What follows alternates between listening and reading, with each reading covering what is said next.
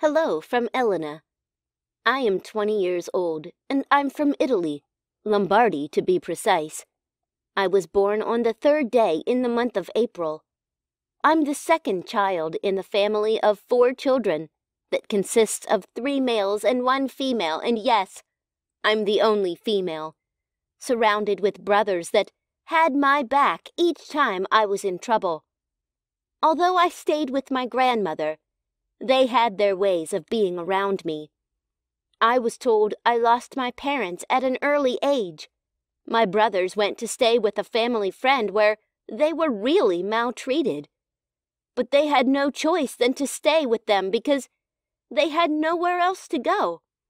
Even though they would come visiting, I and my grandmother once in a while, they tried not to make us feel sad for the maltreatment they were going through so they keep happy faces each time. I can't remember the early stages of my infant life, as I have never heard nor asked about it from my parents because I never had the chance to. I went to stay with my grandmother immediately after they died, and I also don't have any proof of it because there is no piece of proof left to be proud of as a history of my infancy life. I have passion for writing. I was 12 when I started writing because I always wanted to be a great writer, like Victor Hugo, who wrote Les Miserables, or like Romain Rolland, who wrote John Christopher. They have influenced millions of people through their books. I also wanted to be a great psychologist, like William James or Sigmund Freud, who could read people's mind of course, I am nowhere close to these people yet, but I aspire and aim to be like them someday. Back then in my teens, it was mostly silly rhymes and poems of random stories and thoughts, and sadly, a lot about my struggles with my brothers and myself that I wrote about, because the words kept coming and I kept writing. How glad I am that my teens are long gone. I was so depressed. Most times, I had to do some side jobs so myself and my grandmother could survive. We hardly eat three square meals, but we survived each passing day. I am a person who is very positive about every aspect of life. There are many things I like to do, to see, and to experience. I like to read, I like to write, I like to think. I like to talk. I like to listen. I like to see the sunrise in the morning. I like to look at the clouds in the sky with a blank mind. I like to do thought experiment when I cannot sleep in the middle of the night. I like flowers in the spring, rain in the summer, and snow in the winter. Sometimes grandmother will look at me and say, you are going to be so great in life, and I can't wait to see you achieve your dreams. Those words gave me strength to keep fighting. So since childhood, I grew up with this best at everything attitude in me. I used to be the best scholar in class, active participant in every sphere. And when I was appreciated for this, confidence used to flow through me no matter what. However, as the teenage years hit me, I started to face mental bullying. Slowly, it started affecting me negatively, and as much as I resisted it, I was drawn more into it. Within a few years, my whole focus was shifted to fight this. I lost focus of my academics and my other skills, and the results started reflecting in my life. I was losing what I had. Even my grandmother noticed it. She wasn't happy about it, but she still encouraged me to not give up. She wasn't the type that will force you out of your own will or force you to talk when something goes wrong. She just gives you reason not to give up. But when my school grade results came out, I was suddenly into the reality of myself. The pride I used to see in everyone's eyes my image of a confident girl, it was all gone, and it was hard for me to accept. Day by day, As the law says, I attracted it more. There was a time when I had lost all the belief in myself and lost myself completely. I thought of, but I, on a second thought, I had to make my brothers and grandmother proud. Continuous failures kept coming, and screwed up friendships made it even worse. I had lost where to go in life, what to do with my career, and to whom I should seek for help. I knew if I had gone to my grandmother, she would just console me with her words of encouragement, and I was not ready to listen to the same words. Although those words have helped me, but it wasn't what I needed. In the process of me seeking for help, I met one of my teachers in school who called me to his office because he noticed my grades had gone down, and I had not been the way I used to be in class. He sat me down and asked me so many questions. Some of them I can't even remember. He gave me examples of people that were like me and they ended up wasting their lives because they kept to themselves. His words pierced into my heart. I was stirred up to do better, not to allow myself to be mediocre. Just almost immediately after, I got my strength back. Then, the coronavirus came. I'm sure you have heard about stories where most people are infected with coronavirus. And as we all know, the coronavirus is a deadly disease, and it's the number one talk of the town in all social media now. A lot of people have been infected with it currently, and I wasn't lucky. As many of us so, I got infected from who knows where or what, actually. It's shocking, right? Yes, I know. Even I haven't come to terms with it. Of all the people who had to be infected, it had to be me.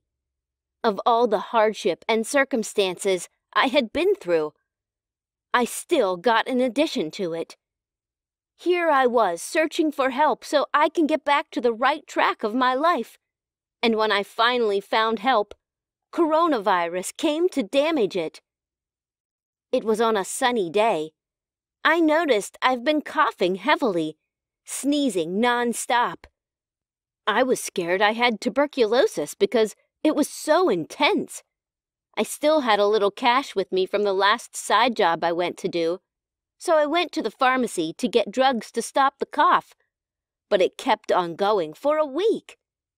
Immediately, my grandmother noticed this symptom in me. She picked me up, and we drove straight to the hospital, and I tested to be coronavirus positive.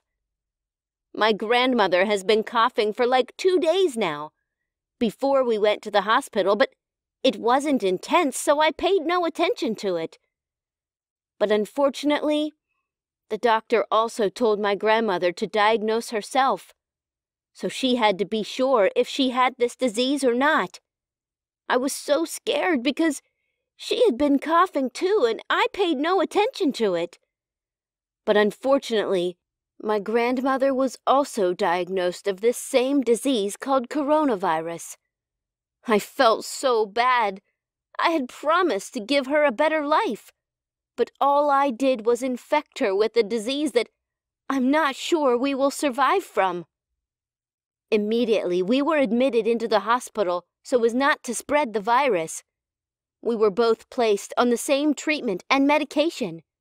We were both in the same hospital room, and all my grandmother could do was to shed tears because she never expected myself and her to be a victim of this virus. I remembered when I was little, when she made sure I had food to eat, when she would encourage me with her consistent words. I felt like a failure. I was very unhappy. I was supposed to make her proud, but now how I have failed! After two days in the hospital, a lot of patients were brought in and they'd been diagnosed of this same virus. The hospital was so full to the extent that there was no bed to accommodate a lot of people that were diagnosed of this virus. As the result of this, a nurse came in and told me she would be moving me away from the bed to the corridor Reason being that the new patient needs to be admitted immediately. I was pleading with her not to move me away from the bed, but during our conversation, my grandmother overheard us, and she told the nurse not to move me away from the bed. Instead, she will prefer if the nurse can move her instead of me. My grandmother loves me so much that she never prays that anything should happen to me. The nurse then took my grandmother away from the bed, and she was placed in the corridor. It was so painful, me looking at her lying down on the floor, helpless. But there was nothing I could do to help the situation. After my grandmother was dropped at the corridor, not up to two days, she died. My grandmother died, and no one cares about her. I wanted to go with her. I felt guilty for infecting her with the virus. Why didn't it take me away instead of her? I wish I had magical powers to bring her back to life, but she was gone. Grandma was gone, never to return. She left me alone in this world. After the death of my grandmother, I still stayed some month in the hospital, lifeless and helpless. It was so difficult to survive. My brothers were scared to visit me because they didn't want to be infected. The doctors had advised them not to come close, else they might get infected as well. Even though they were in charge of the bills, they still didn't come close. At first, I was angry, but then I didn't want their case to be like that of Grandma, so I understood them. They were the only family I had left. On a faithful Monday morning, the clouds were still warm, the wind was blowing slowly, and my eyes were gazed at the sky beside the window, close to my sick bed. I was still in shock and sadness of Grandma's death, lost in thoughts.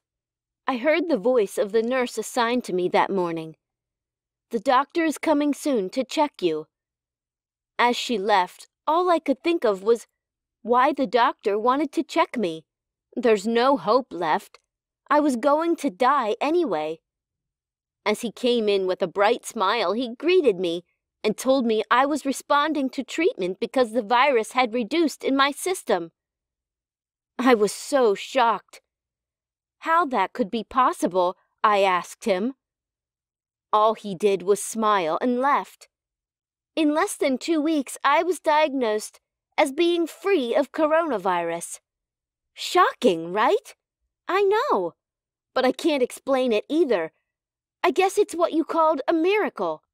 But I knew luck found me and was giving me a chance to fulfill my dreams. I have just been released from the hospital as a survived person of coronavirus.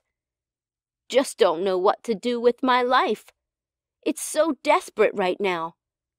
I was scared to go to my brother's place to meet them, but then I had nowhere else to go.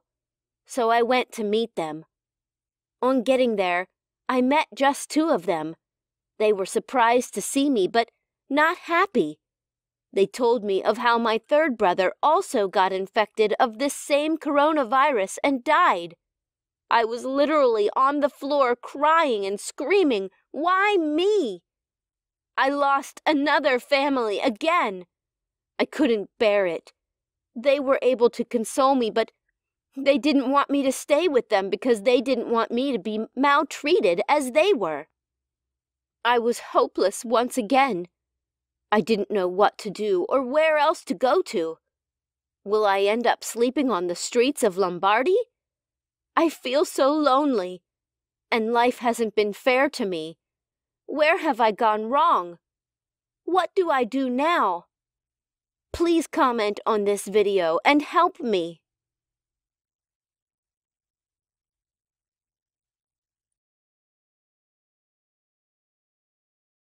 Hi, I am Ria. I am a very ambitious and hardworking young girl of 19. I am the second daughter of my parents. People around see me as a beauty diva, but I honestly do not care.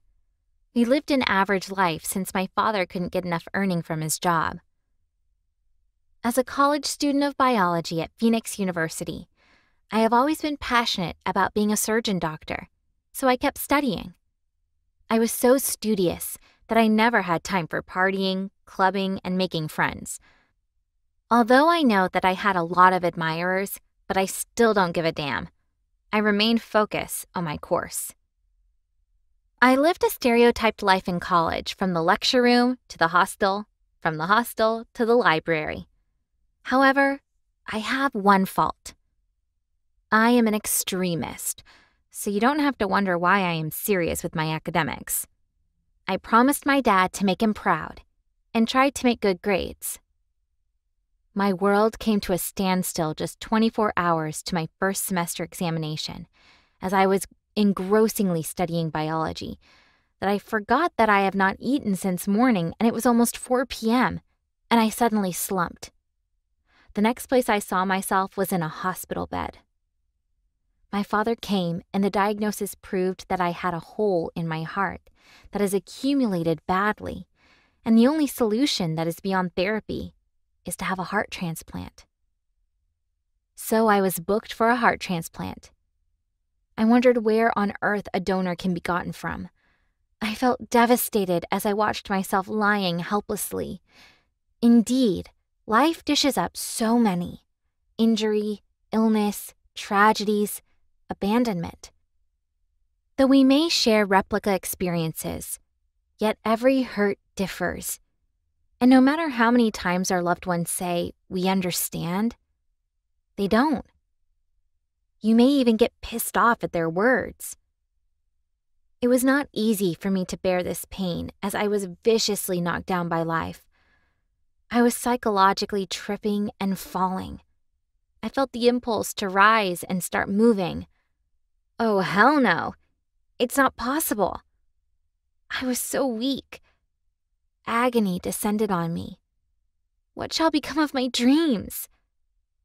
Nobody could cheer me up because I was living a friendless life. So my only succor is my family, my father and mother, and the doctors and nurses who kept speaking life into me. My parents started sourcing for funds to save my life. A lot of thoughts were already running through my brains. Where on earth will my dad get such amount of money? What will happen to me after now? It was quite challenging, but my dad determined to see that his only child lived. After 48 hours, the doctor told us that the only solution to the challenge is to keep checking if there would be instant accident cases that claim lives. In such cases, with the permission of the government, victims can be operated and the organs sold. Coincidentally, there was news of an accident that claimed seven lives that same day. And from one of the victims, they got a heart for the transplant. It took hours to carry out the surgery, but at last it was successful. Everyone was happy as I gradually recovered with added beauty. But I started feeling different within myself. I lost interest for education. I hardly attend lectures, talk more of reading. People said I became rude and inhuman. And then my dress code automatically changed. I started disliking decent and corporate wears and preferred sexy and nude clothing. I started liking dancing. I got myself trained to be a strip dancer. Wherever there is a club, that's where you find me, no matter the time. Luckily enough, I got a job at a strip nightclub in town. I enjoyed my new job and entertained my customers well such that I was second to none in strip dancing. I was having a good time with the job and even started mingling with the manager. We became close and had fun severally. I got attracted to the manager the very first day I came to apply for the job, and the manager responded positively. On the night of Boîte de la Boîte, I rolled badly that my moves and rolls attracted Mr. Black, the manager of the strip club. I never knew he was crushing on me.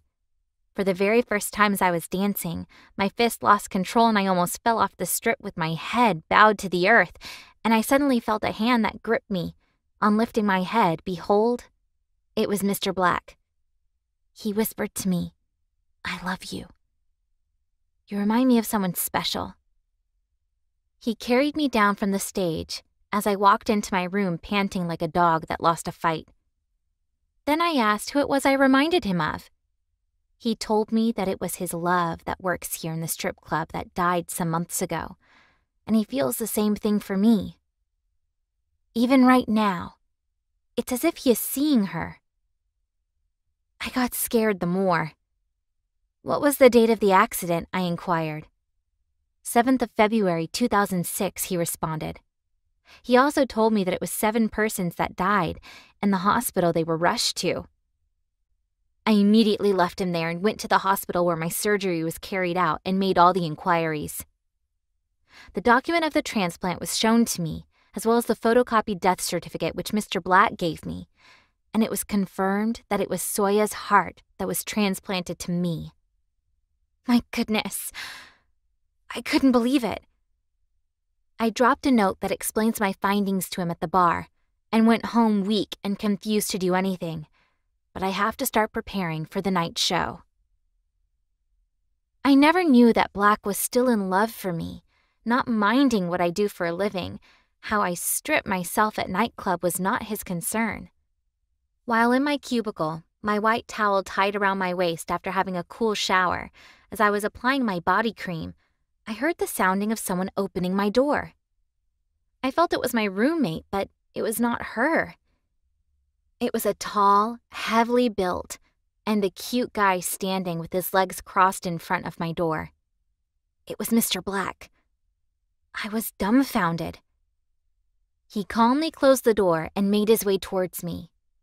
I was becoming nervous, and trust me, I have never been this nervous before a man since I became wild doing my strip dance business. However, I decided to overcome this nervousness as I stood up. He held me on my slippery arms. There was this feeling that moved within my arteries and veins that got me shaking. This is not me! Immediately, he whispered into my ears, You cannot run away from me. Even if you run, you cannot hide. If you hide, there's only one place you can hide, and that is in here, pointing to his heart.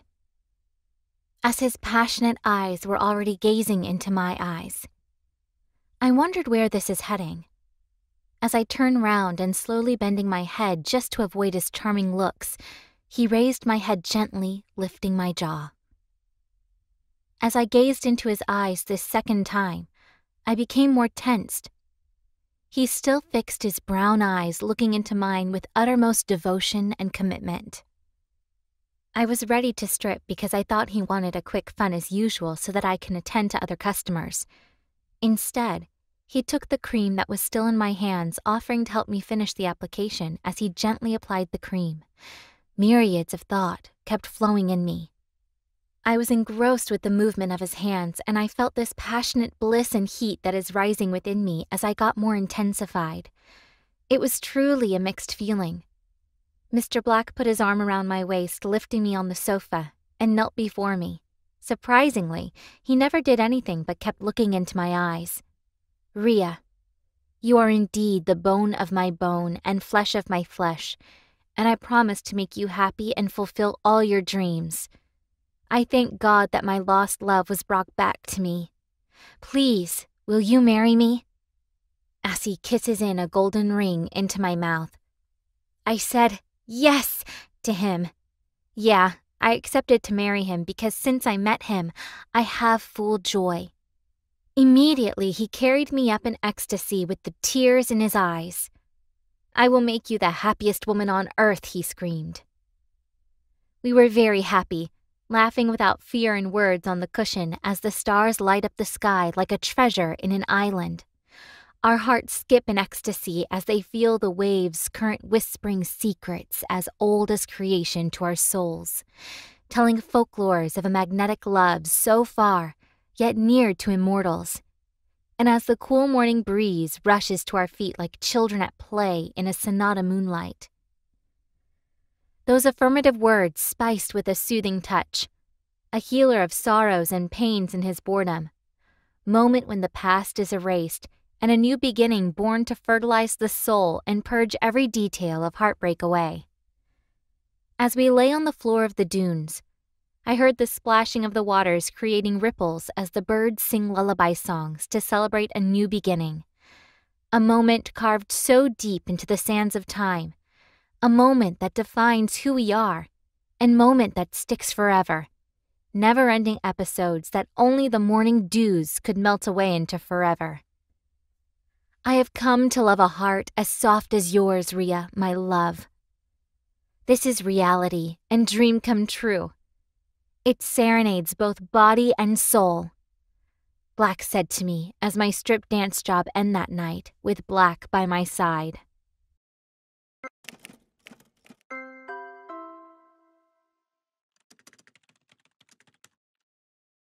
I made a mistake just to have a friend.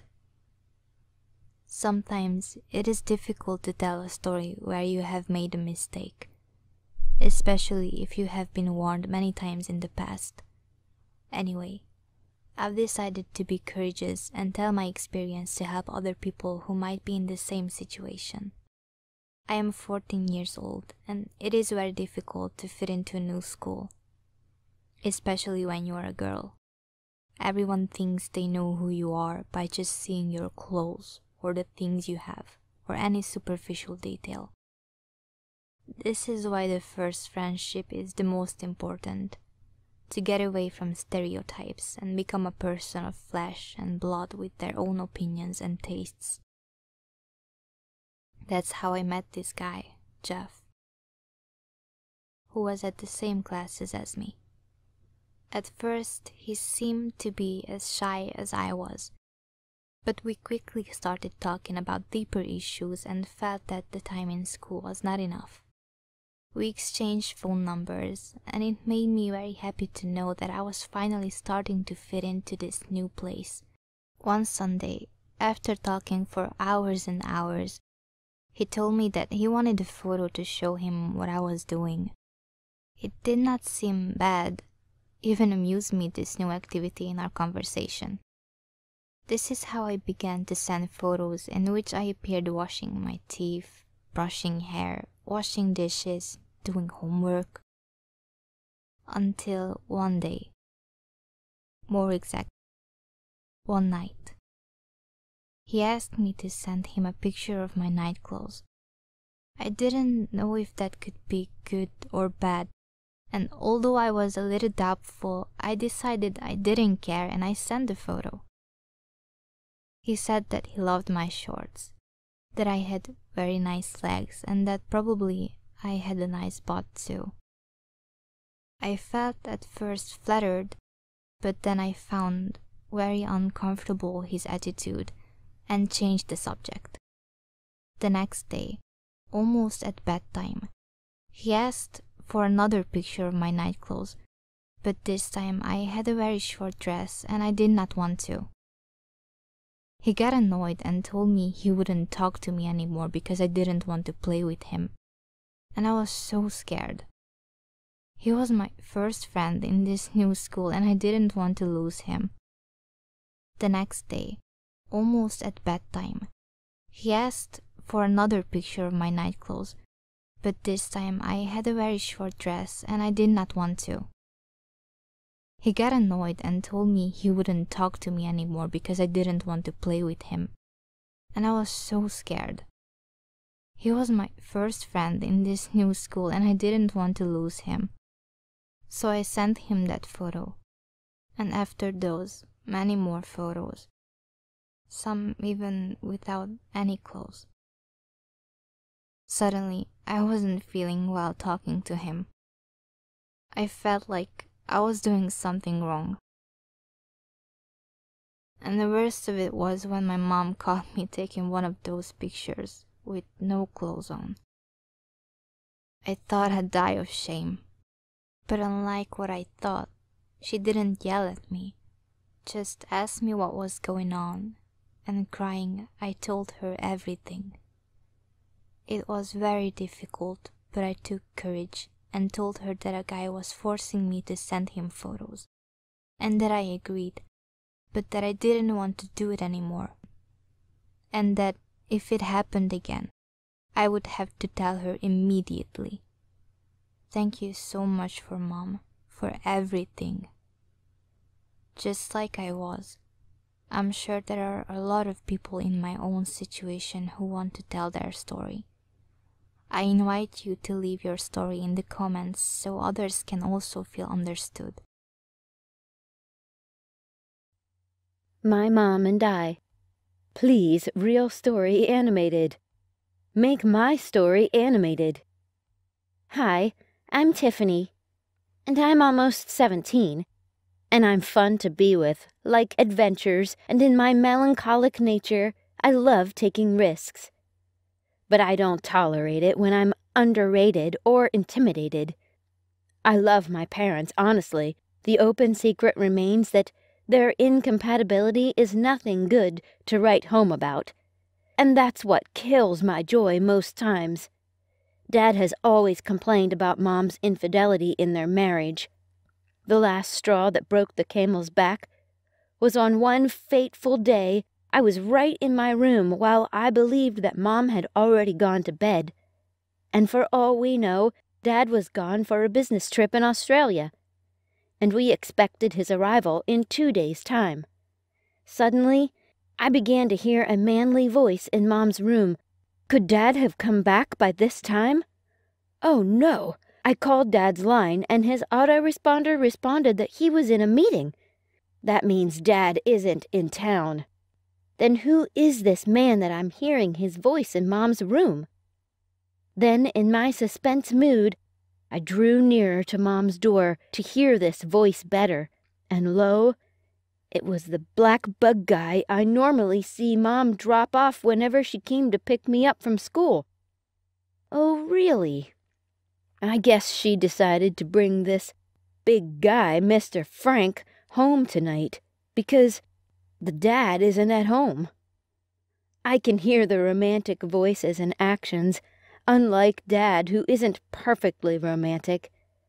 I started peeping through the door handle. I could not believe my eyes. As cool as the evening was, Mom's body was so inviting to Mr. Frank that he couldn't hold his emotions any more. And then he made a move towards her. Suddenly, they were already floating on the cloud, gazing into each other's eyes. Frank gently pulls her so close to his daring heart, hoping they do not part ways even for a second. As Mom wrapped in his arms, imagining them taking a journey into time together, breathing passionate words of love into his ears.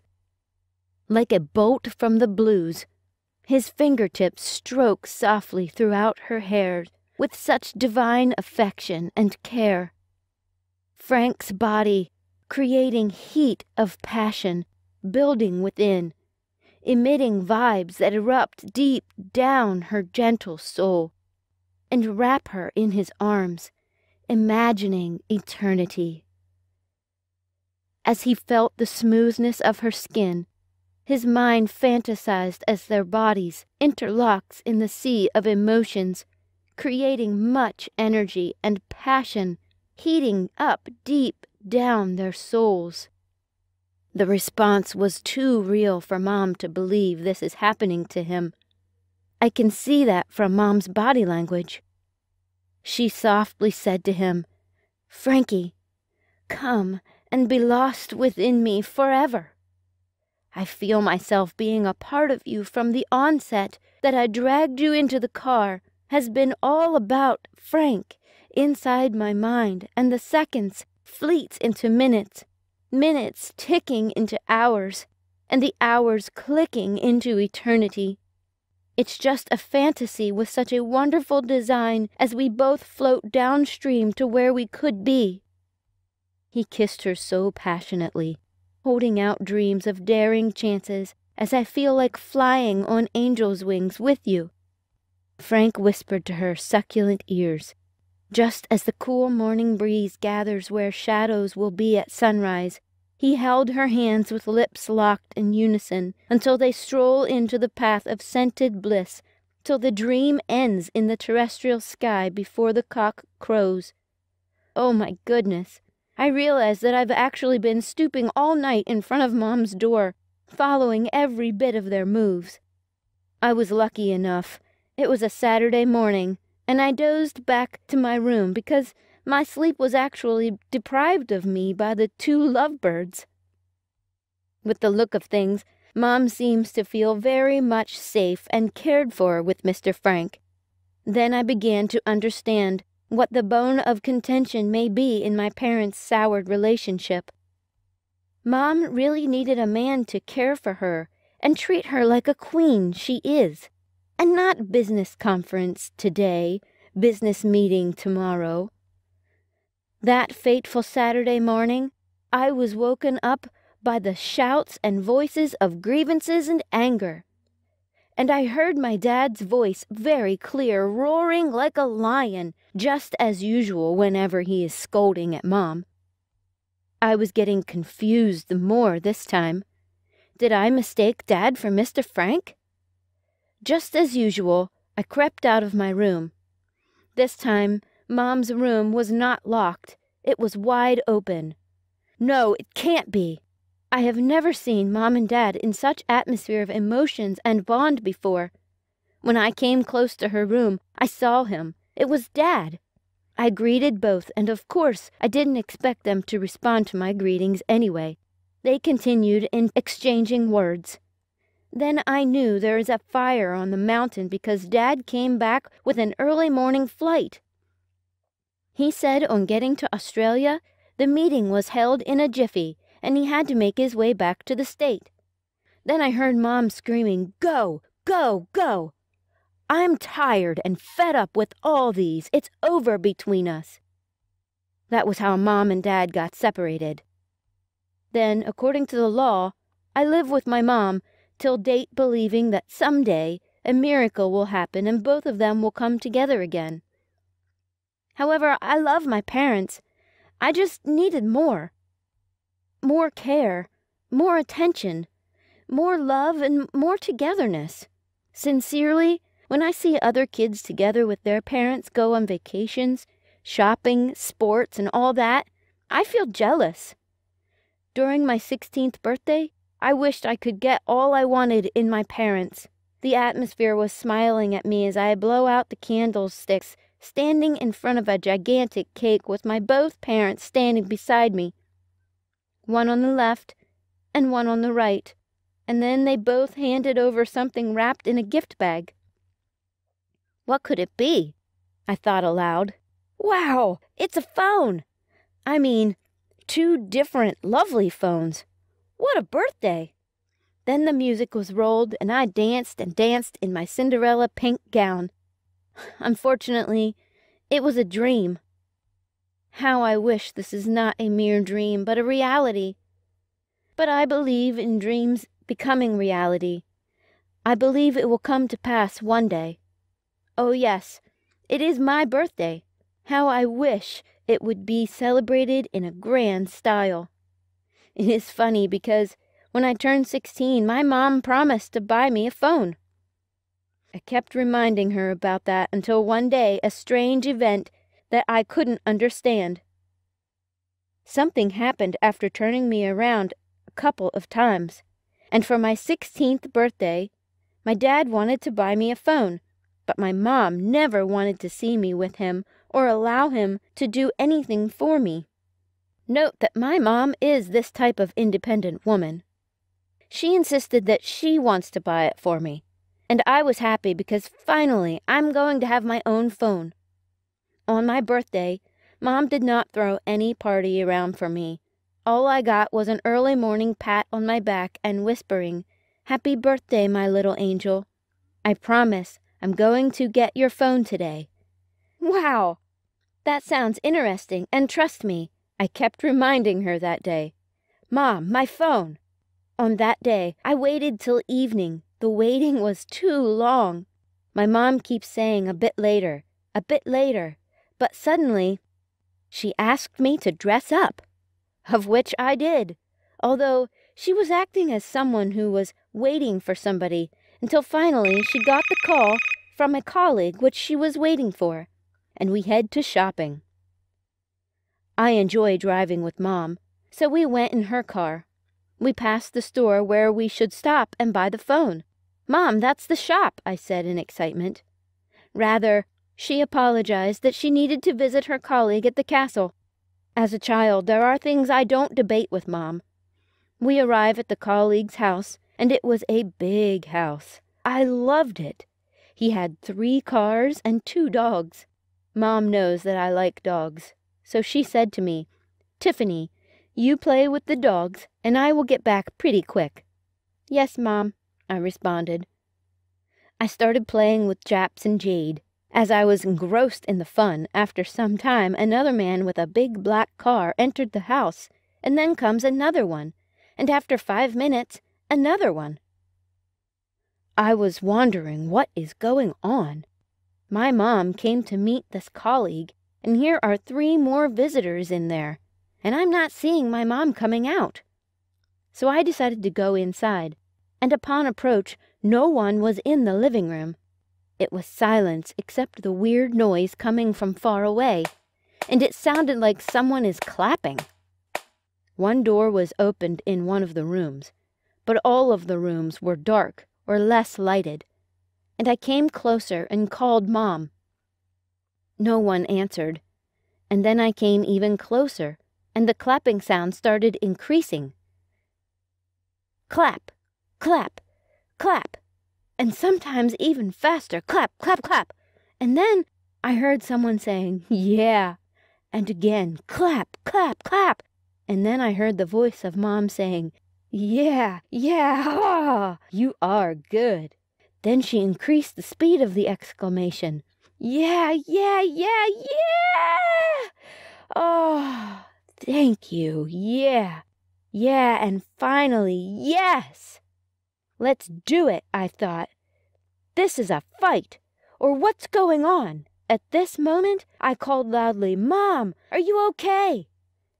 Everything stopped. And they all get out saying, Yes, let's do it. Congratulations. But then I asked Mom, What was that clapping noise? And all that she said was, I pitched them an idea for a startup business, and yes, they agreed to fund the project. But then one thing that got me thinking was the physical appearance of the three men. They were sweating profusely, looking like men that just engaged on a physical combat, sapped of all their energy with this post ejaculation, their minds numbed down, tired, and walking slowly, gulping down some drink. Immediately we went to the store. But while we were going, I asked her what were those weird noises, and she said it was nothing serious. They were all excited. And yes, I know she was excited because when she got out from that room, she was a bit reddish in her face somehow, and her voice was cracky because she really shouted so much. My mom also told me not to discuss what happened with anyone for any reason. I knew she was warning me about this because of my dad, he calls me every two days to know what's happening around Mom, and she also told me that this need to be kept secret forever. Forever? Why is she holding this event so tight? For me, I see no big deal in it. Oh, but I will adhere to her instructions. With my sense of curiosity, I also asked her, Why are all her colleagues men? There is no other female amongst them except you. She responded that they couldn't make it that day, but would come in the next meeting. I'm glad that finally my mom is happy. And she's going to make her dream come true. And I've got a new phone. But what was weird is that my mom never started that business, and now we are almost one year from there. This also means that my phone is one year old, too but I hope she will buy me a new one when I turn 17 next week. What do you guys think? What should I do so my mom will buy me a new phone? Please, like this video if you think it was not a business consultation. And leave a comment if you think it was something else going on.